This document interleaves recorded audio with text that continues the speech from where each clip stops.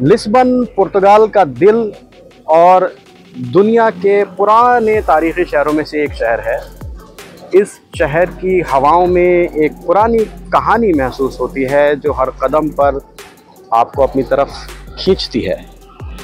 Hello दोस्तों, मैं हूँ आपका दोस्त और होस्ट, और आज हम चलेंगे लिस्बन के रंगों से भरपूर रास्ते पर, जहाँ तारीख़, तहजीब और मॉडर्न ज़िंदगी का अनोखा मेल है।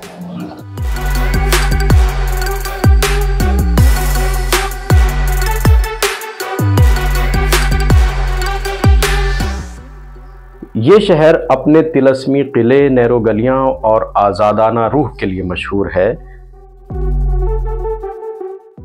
लिस्बन का बेलम टॉवर देखते ही आपको महसूस होगा कि आप वक्त के पिछले दौर में चले गए हैं। यह किला सिक्सटीन सेंचुरी का एक अजीम शाहकार है, जो पुराने ज़मानों में शहर की सिक्योरिटी के लिए बना था। इस किले से अगर आप दूर निगाहें डालें तो दरिया का वो मंज़र नज़र आता है, जहाँ से क्रिस्टोफर कोलंबस ने अपनी पहली तारीखी रवानी की थी।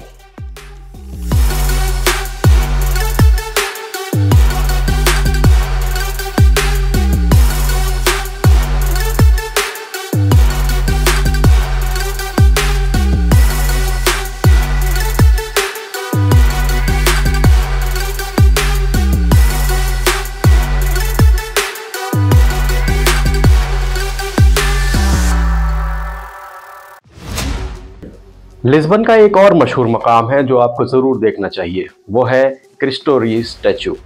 ये अजीम शाहकार अल्लाह की अजीम शान का इजहार करता है और अपनी 28 मीटर लंबाई के साथ तेजो दरिया के किनारे खड़ा है। ब्राज़ील के रियो दे जनेरियो में मौजूद क्राइस्ट रिडीमर स्टैचू से मुतासर इस स्टैचू को 1959 में मुकम्मल किया गया था। यहाँ से आपको लिस्बन और तेजो के शानदार मंजर का नज़ारा मिलता है। अगर आप लिस्बन आ रहे हैं तो इस मकाम पर ज़रूर आएँ। ये एक रूहानी और तारीख़ी तजुर्बा होगा।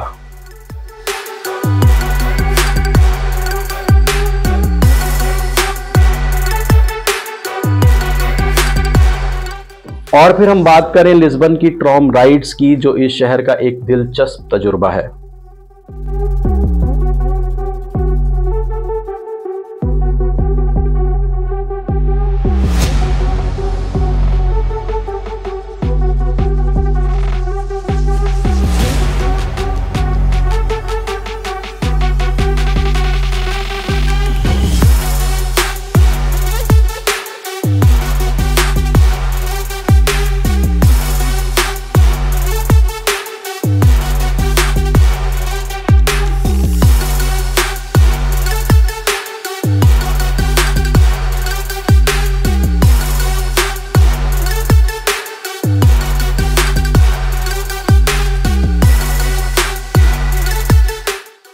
ट्रॉम पर सफ़र करना आपको लिस्बन के हर रंग और मंज़र का हिस्सा बनाता है। शहर के पहले हिल टॉप पर जब ट्रॉम से निकलते हैं तो नीचे दरिया का मंज़र और आसमान में उभरते हुए सूरज का रंग देखने का अपना ही मज़ा है। लिस्बन का रोसियो स्क्वायर शहर की रूह है। यहाँ की चाय, खाने और लोकल मार्केट आपको शहर की असली ज़िंदगी से मिलाती हैं।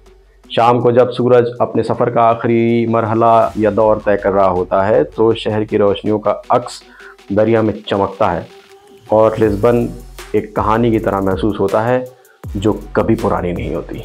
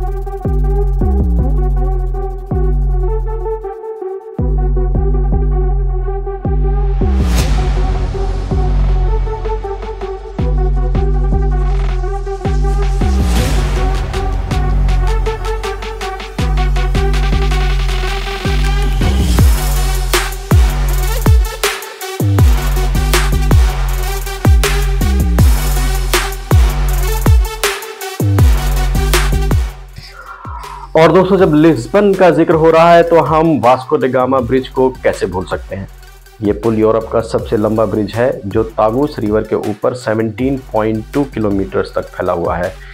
ये न सिर्फ़ एक मॉडर्न इंजीनियरिंग का शाहकार है, बल्कि पोर्टुगल की दरियाफ्त करने वाली रूह की याद दिलाता है।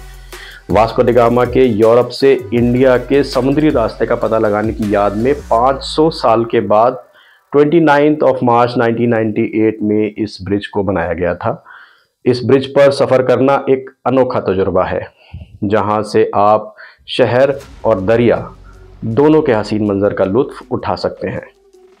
ये पुल लिस्बन की पुरानी तारीख और नई दुनिया के दरमियान का एक खूबसूरत ताल्लुक़ है, जो आपको याद दिलाता है कि ये शहर हमेशा से दरियाफ्त और तजुर्बात का मरकज़ रहा है। तो दोस्तों, अगर आप लिस्बन नहीं गए तो समझ लें कि एक तारीख़ी जादू से बचे रह गए। ये शहर की खूबसूरती, यहाँ के लोग और इसके मनाजिर आपको महसूर कर देंगे। उम्मीद है कि आपको हमारा ये सफ़र पसंद आया होगा। मिलते हैं किसी और सफ़र पर। जय हिंद।